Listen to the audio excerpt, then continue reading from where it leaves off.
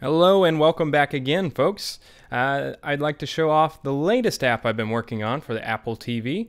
It is called Free Classic Movies, and it gives you access to an entire catalog of free movies, most of which are either in the public domain or have been granted access for reuse.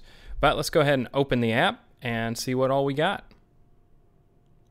So as you'll see, I'm adding new movies to this all the time, but we have a most popular section right here with Night of the Living Dead, uh, Trip to the Moon, which is actually the first sci-fi movie ever made, uh, and it's in it's a silent movie though, uh, but pretty short. Uh, a lot of different ones that you may have heard of but might not have seen. Plan 9 from Outer Space by Ed Wood. Uh, Rhythm and Blues Revue that has some great music. Anyways, it goes on and on.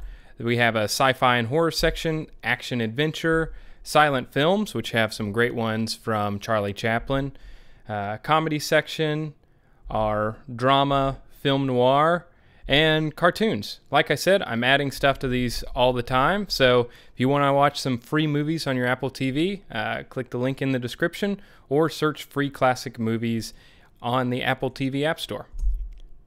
I'm going to watch some Night of the Living Dead.